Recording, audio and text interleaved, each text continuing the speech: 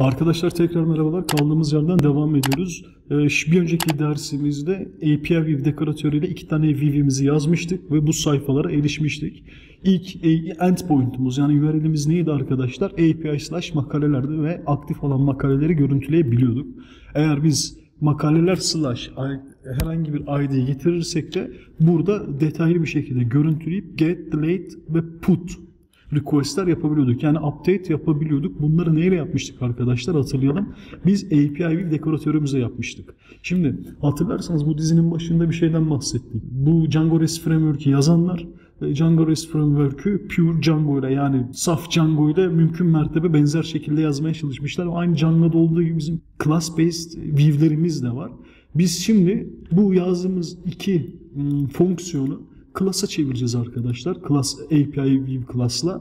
Şimdi aslında kodumuz çok değişmeyecek ama biraz daha derli toplu olacak. Yalnız bu ders önemli. Neden önemli? Çünkü bir sonraki serimizde, video serimizde biz jenerik view'lere geçeceğiz ve concrete view'lere geçeceğiz. Yani asıl REST framework'ün arka tarafta çalışan yani yazılımcı arkadaşların aslında çalıştığı view'lere geçeceğiz ve o da zaten API View class'ımız üzerine yazılmış olacak. Vakit kaybetmeyelim ve kodlamaya başlayalım arkadaşlar. Şimdi ilk olarak şuraya bir notumu düşeyim. Class views diyeyim. Bir import yapmamız gerekecek ve from REST framework bu sefer dekoratörlerden değil views'lerden import API view diyeceğiz arkadaşlar. Şimdi bunu bir tıklayalım ve go to definition diyelim bir içeriğine bakalım paketin şimdi. Eğer dikkat ederseniz bu API view'in altında onlarca metot var. Tek tek hepsine bakmayacağız.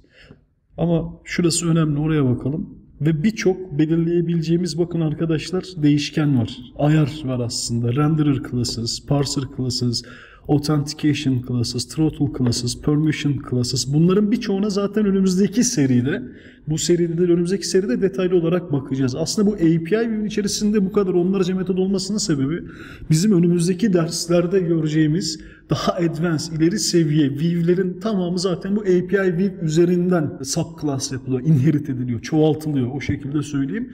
Dolayısıyla bizim arka plandaki işlerin nasıl döndüğünü anlayabilmemiz ve bu konudaki bilgimizi kuvvetlendirmemiz için önden bunu bir yapmamız gerekecek. Bunların hepsiyle zaten tek tek çalışacağız dediğim gibi ama biz şimdi ne yapalım? View'imize geri dönelim. Biz geçen dersimizde derslerimize yazdığımız bu list create API view ve detail API view'i bu API view klası üzerinden şimdi tekrar yazalım arkadaşlar. Şuraya birkaç boşluk bırakalım. İlk klasımızı burada yazalım arkadaşlar. Hatta şuraya şöyle bir not düşelim function based view'ler diyelim. Bunları daha sonra ben GitHub'a atmayı düşünüyorum. Eğer kodlara bakmak isterseniz. Şimdi ilk klasımızı yazalım. Zaten artık klas kullandığımız için dekoratörle işimiz kalmadı. Büyük harfle yazarsak olmaz diye düşünüyorum. Ee, burada da aynı şeyi yazacağız aslında. Makale, list, create, API, view. Burada tabi biz API View klasımızı biraz önce içine baktığımız API View klası, klasımızı genişletiyoruz, inherit ediyoruz. Tekrar ediyorum bizim bu Object Oriented Programming ile alakalı, bu inheritance, kalıtımla alakalı çok sağlam bir dizimiz var. Eğer buralar sizin için soru işaretiyse mutlaka o diziyi izlemenizi tavsiye ediyorum arkadaşlar. Fayda sağlayacağını düşünüyorum. Şimdi biz e, class yazdığımız için camel case yaptık. Yani aslında camel case'in ilk harfleri büyük yaptık. Burada aynısı sadece definition olduğu için yani function olduğu için aralara çizgi koymuştuk. Şimdi aslında dediğim gibi biz API View klasını kullanırken kodumuzda pek bir değişiklik yapmayacağız. Bu kodun altında bizim iki tane function yazmamız lazım. Tabii ki self de alacak bunlar. Self ve tabii ki request'imizi de alacak. Tekrar hatırlıyorum, hatırlatıyorum. Buradaki request bizim Django'da çalıştığımız request'ten farklı bir request. REST API Framework'ün REST Framework'ün e, request'i. Bizim get ve post metotlarımız için arkadaşlar iki tane buraya function yazmamız gerekecek. Bunların içine de aslında burada birebir aynılarını alacağız arkadaşlar. Şimdi biz bunları yapıyoruz ama dediğim gibi ileride jenerik view'lere geçtiğimiz zaman bunları da yazmamıza gerek kalmayacak. Post'u da alayım arkadaşlar. Şurada fazla boşluk bıraktık. iki tane boşluk bırakalım. Şimdi aslında aynı kodları yazdık ama class olduğu için çok daha derli, toplu oldu. Ben hatta bu yazdığımız fonksiyonu da cmdk ve cmdc tuşlarıyla bir yorum alayım. E, burada bulunsun. İleride GitHub'a attığımda okuyabilirsiniz. Aslında bu kadar.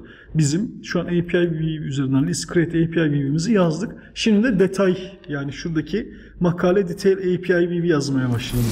Yani aşağı geliyorum. Class makale detail API view diyorum ve bunu da tabii ki API view'imden extend ediyorum. Şunu bir aşağıya alayım arkadaşlar. Bakarak gidelim. Bununla işimiz kalmadı zaten. Bu bizim API view dekoratörüyle yazdığımız. Şimdi bunu class'a çevireceğiz arkadaşlar. Şimdi burada biz ilk başta ne yapmıştık? Makale instance'ını çekmiştik primary key ile. Hatırlarsanız. Bunun için bir kısa yolumuz var. Biz yine bunun için yine bir metot yazmamız gerekecek ve buna get object diyeceğiz. Ve self ve devamında da tabii ki primary key alacak. Bununla alakalı geçen derste bol bol konuştuk zaten. Şimdi biz yine makale instance diyelim. Eşittir diyelim. Şimdi artık burada amacımız öğrenmek olduğu için from REST framework'ten arkadaşlar REST framework generic'ten modifiye edilmiş generics'ten modifiye edilmiş get object or for for'u alalım. Aynı Django'da olduğu gibi ve bunu burada kullanalım. Get object for for aynı normal Django'da kullandığımız gibi buraya makale klasımı yani modelimi vermem lazım. Buraya da primary key eşittir primary key yapmam lazım. Şimdi ben artık def get object'le object'imi çektim. Şimdi bundan sonra artık bütün aşağıda yazdığımız gibi e, bütün view'lerim bütün e, request metotları için arkadaşlar e, metotlarımızı yazmamız lazım. Get self alacak, request alacak ve tabii ki primary key alacak arkadaşlar. Şimdi ben ne yapacağım? Burada makale diyeceğim. Burada tabii bir hata yapmışız. Def get object makale instance dedik. Bunu return etmezsek hiçbir şey alamayız.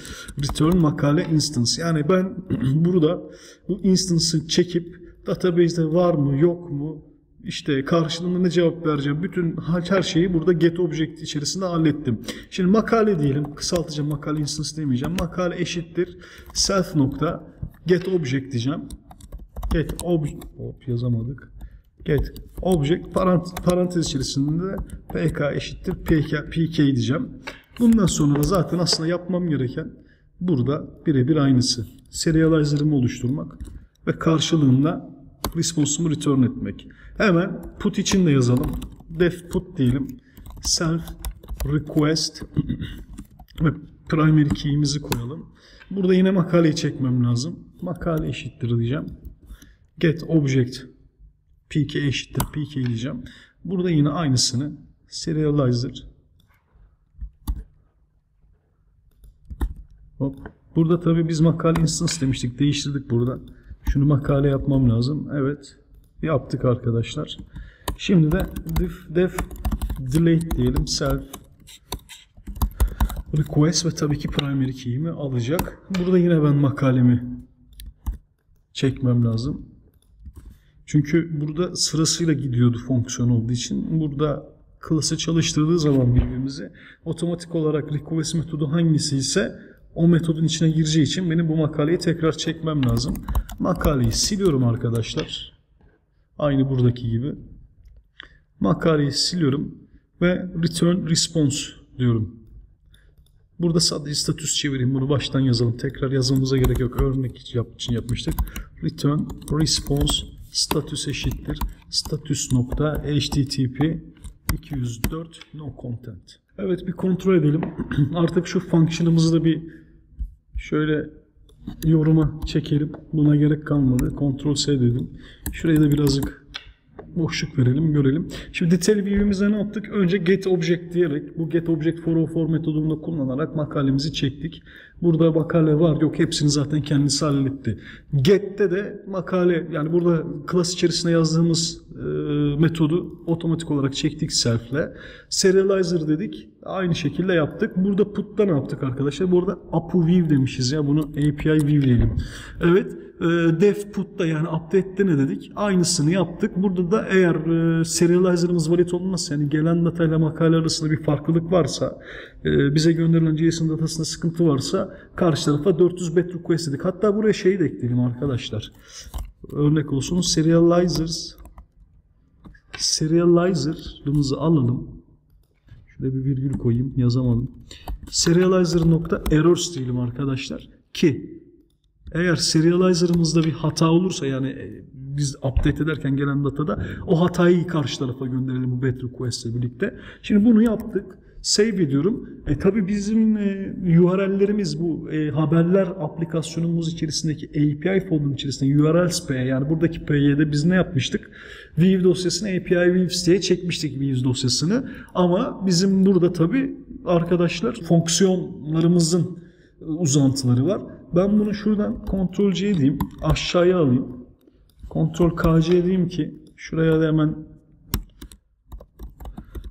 function views diyeyim. Bakmak isterseniz ileride. Şimdi ben ne yapacağım? Bunu ve bunu silmem lazım. Çünkü onların yerine ben class yazdım arkadaşlar. Ne yazmıştım? Şu noktaya da sileyim. Tıklayayım ki gelsin. Makale list create API view demiştim. Ama ben şu an class'ı çektim. Bu class'ı view'e çevirmem lazım. Aynı Django'daki mantık. As view demem lazım. Aynı burada da detail view olduğu için makale detail view diyorum. API view diyorum arkadaşlar. Nokta as view diyorum ve kontrol S diyorum. Bakalım yap, yap, yapabilmiş miyiz? Önce bir view'imizi bir daha bir kontrol edelim bakalım yanlış bir şey yaptık mı? Def self request. Evet burada get'imizi yaptık. Burada postumuzu yaptık. Burada zaten çok bir şey numara yok. Makalede get object self request dedik. Burada mesela bir hata yapmışız arkadaşlar. Def yani burada request ile alakalı bir şey yok. Burada zaten PK'ye ihtiyacımız var. Request ile alakalı olayları biz zaten buradaki get, put ve delete metotlarını hallediyoruz. E, get object self slash e, virgül pk dedik. Evet makale instance'ımızı çektik. Burada zaten her şey arka planında hallediyor bu API view klasımız. Get dedik. PK'ya göre zaten buradaki kendi get object metodumuzu çalıştırdık. Evet görünüşe göre pek sıkıntı yok gibi zaten birazdan göreceğiz. Şimdi gelelim Python manage.py diyelim konsolumuzda. Python manage.py run server diyelim arkadaşlar. Çalıştı mı? Serverımız çalıştı. Şimdi Ctrl R diyelim. Evet bir yerde bir hata yapmışız arkadaşlar. Makale instance is not defined. Kopyalarken hata yaptık. Bir yere makale instance yazmışız.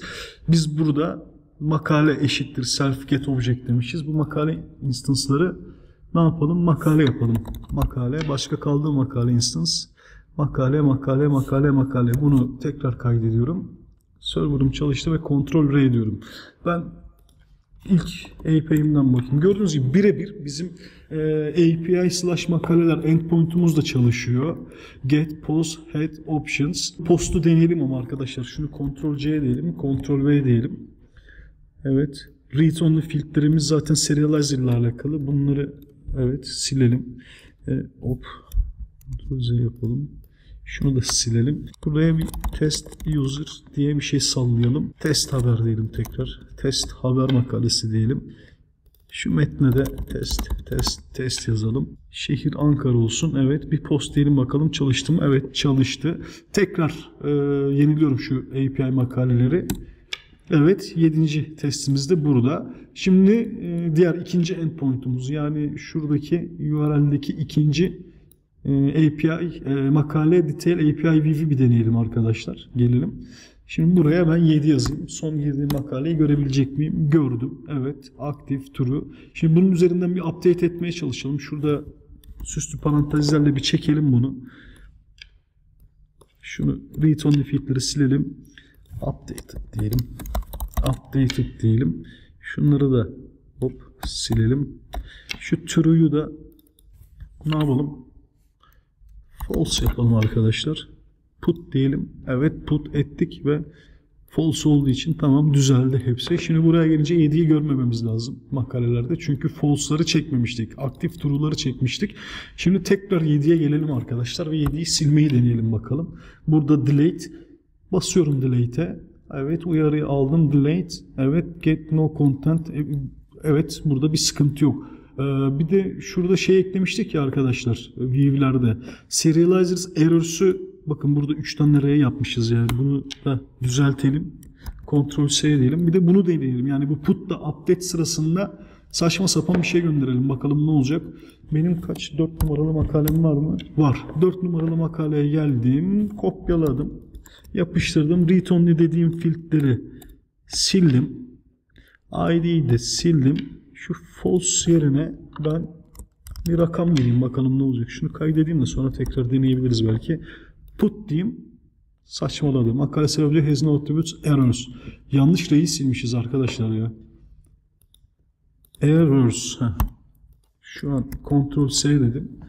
Tekrar geldim browser'ıma. Ctrl R dedim. Tekrar buraya yapıştırdım aynı şeyi. 1, 2, 3 dedim. Put diyelim bakalım. Gördünüz mü? Must be a valid boolean, field diyor. Yani true false olması gerekiyor diyor bu. Evet bunu o zaman ben true yapıyorum. Deneyeyim. Şimdi yayınlanma tarihi ne ne yapalım? Şehre de o zaman buraya da bir tane false yazalım ya. Şimdi karşı taraftan bir program bize API call yapıyor. Ama saçma sapan hareketler yapıyor. Ne cevap alacak? Yayınlanma tarihi dedi. Bakın error'su. Yani anladınız mı arkadaşlar? Şurada response'un içerisinde şu serializer is valid'den sonra serializer save dedik ama eğer valid değilse bu if bloğunun dışına çıktı. Response olarak da hem 400 bet request'i gönderdi hem de serializer'ımızın içerisindeki error'su gönderdi. Bakın yayınlanma tarihinde biraz önce hata yaptığımız için bakın şurada yayınlanma tarihine bir boolean field vermiştik. Ne yaptı? Date as wrong format dedi. Tarih formatı yanlış dedi. Şu formatı kullan dedi. E, gayet güzel. Bunu da siliyorum acımasızca. Sildim. Evet. Tekrar listeye geldim. Gayet güzel. Bizim artık endpointlarımız zaten iki tane endpoint'umuz var. Endpoint'larımız güzel bir şekilde, sağlıklı bir şekilde çalışıyor. Birkaç tane zaten hatamız vardı, baklarımız. Onları da düzeltmiş olduk. Evet arkadaşlar, biz artık API klasını kullandığımıza göre çok daha advanced konulara geçmeye hazırız. Biraz önce şu errors'lerle uğraşmamın sebebi ne peki? Çünkü bir sonraki dersimiz yani şimdiki dersimizde de bu validation yani serializer içerisinde yaptığımız doğrulamalara nasıl müdahale edeceğiz? Biz kendimiz nasıl doğrulama validation yazabiliriz onu göreceğiz. Önümüzdeki derste görüşmek üzere arkadaşlar.